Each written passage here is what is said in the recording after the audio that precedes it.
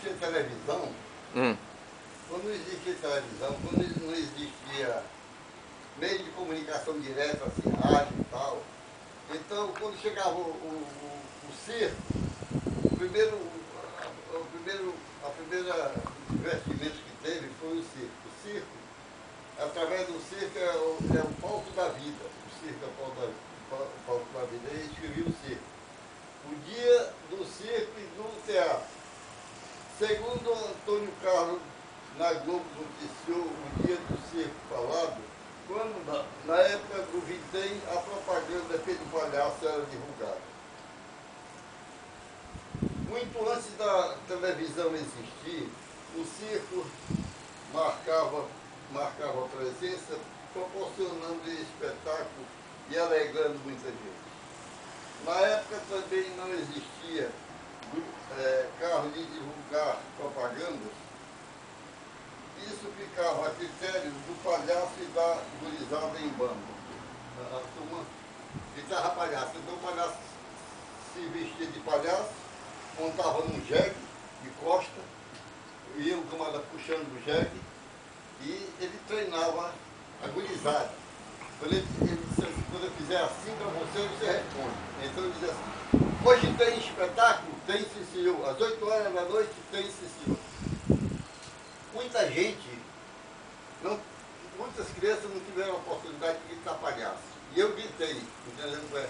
Então, o motivo por que eu fiz essa, essa, essa coisa para divulgar, porque naquele tempo não tinha ah, os meios sofisticados que tem agora a propaganda através de, de, de, rádio, de rádios, eh, de carros pela rua, pela televisão, não tinha televisão também, então a televisão veio, veio trazer o progresso para, as nações, para as nações como um computador, que, que é uma invenção do homem também, isso aí facilitou muita coisa, tem até telefone, telefone é, tirando foto, aquele negócio todo, quer dizer, isso é o progresso chegando, né?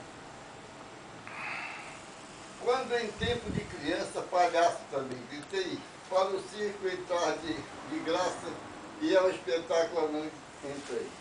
O moço do circo se trajava, do circo se trajava com roupa e característica de palhaço, colocava no nariz um objeto vermelho para naquela impressão, para dar aquela impressão à imagem.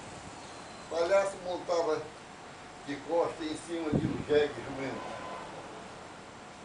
Atrás do jegue, a gurizada vinha acompanhando, respondia ao palhaço que ele vinha perguntando.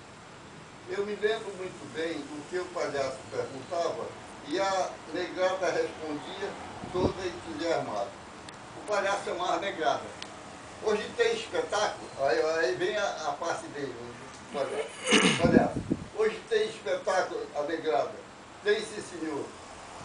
Às 8 horas da noite, é sim, senhor. Na praça principal, justamente sim, senhor. Anima a negrada. Ei, e o palhaço que é? Ladrão de mulher. Bacana. Eu vou ali e volto já. Quando ele fazia assim, a negada, vou comer maracujá. Então, essa assim, o palhaço está na rua e tal. e coisa. Então, isso aí é uma parte da minha infância, tá entendendo? Que isso aí, pouca gente, eu já tenho 71 anos, né? Então eu conto que eu, tava, eu morava em São Luís do Curu, interior de Fortaleza, a 14 léguas do Ceará para São Luís do Curu. São Luís do Curu ia para essa, essa esca de serra, é, Tururu, lá onde, impera as serras, entendeu? Né? Então eu, eu, eu, eu morei em São Luís do Curu em 1944, 1944 a 1950 e 47. Eu morei lá em São Luís do Curu. Perdi minha mãe no Rio, no Rio no Fortaleza. Então tudo isso. Agora, é muito bom a gente divulgar essas coisas do- dos antigamente, diz o, o do né? Então, para que as pessoas, essa rapaziada, essa, essa rapaziada, esse pessoal, esse, esse jovem, tenha conhecimento de como era, porque todo tempo havia sempre um jeitinho nordestino, tem um jeitinho todo especial de bolar as coisas, está entendendo o meu jogada? Você sabe que a literatura do cordel, ela impera muito no, no, no Nordeste, entendeu? No Nordeste. Então, eu já pensei comprar um bocado de literatura de cordel e sair na minha bicicleta oferecendo para meus amigos. Eu chego aqui e digo, assim, pô, compra um, aí tu compra um, o vizinho ali compra outro, dois amigos compram outro. Aí eu cheguei naquela casa do, do Sebo, aqui da Tiradentes, não sei se você conhece onde é. é aí eu perguntei, você tem literatura de cordel? Ele disse, não, não tem. Uma coisa interessante. Aqui é o Sebo e não tem? Não. Não, não tem venda. Não tem venda porque não coloca. É aquela história, né? Você, com essa sua boa vontade, essa sua criatividade, você está divulgando aqui a coisa mais bela do mundo, uma das artes mais bonitas do mundo, que se chama a literatura. Você está divulgando aqui a literatura. É através do. É através dos livros, está entendendo como é? Através dos livros, é que se, que se evita tirar muitas crianças da rua, está entendendo como é? O livro é cultura, a música é cultura, a música fala por nós. E complementando, os livros divulga e dá justamente a cada cidadão o direito, o, a oportunidade de ser feliz, porque a, a felicidade só vem através do saber. O saber acompanha seu dono até o túmulo.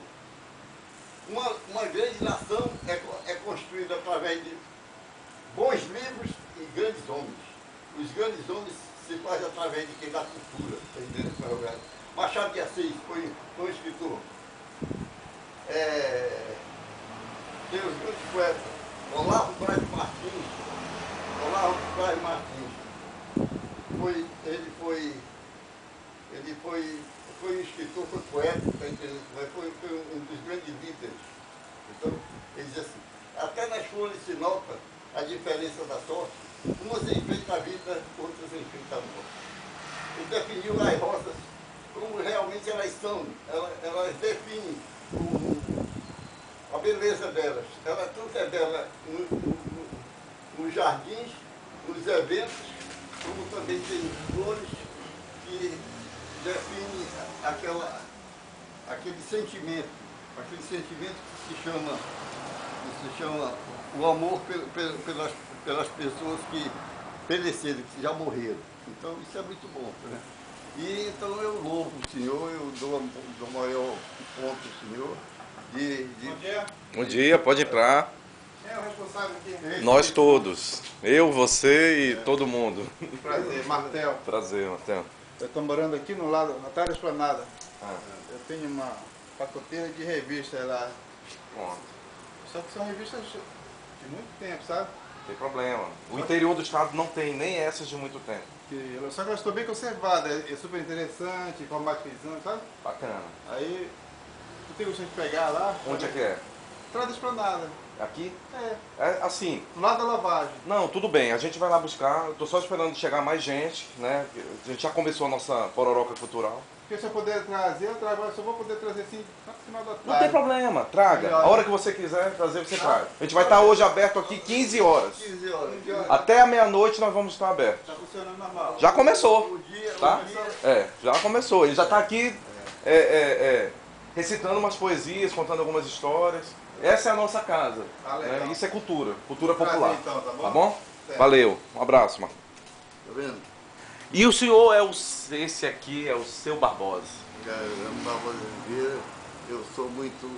Eu sou, eu sou fã incondicional da, da cultura. Cultura popular, né, seu Barbosa? Cultura popular.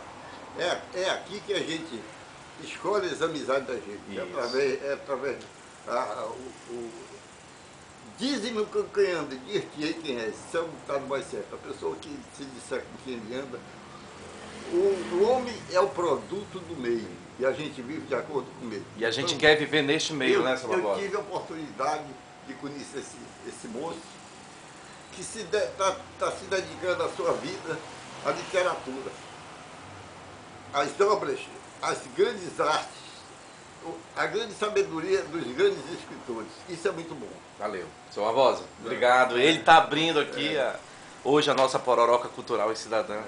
Né, e que vai então, ficar aqui 15 horas é, aberto então, até a meia-noite. E você também é convidado a vir eu, eu né, e fazer a sua arte, mostrar o seu valor. Todo mundo tem um valor. Valeu, galera. Muito, muito antes.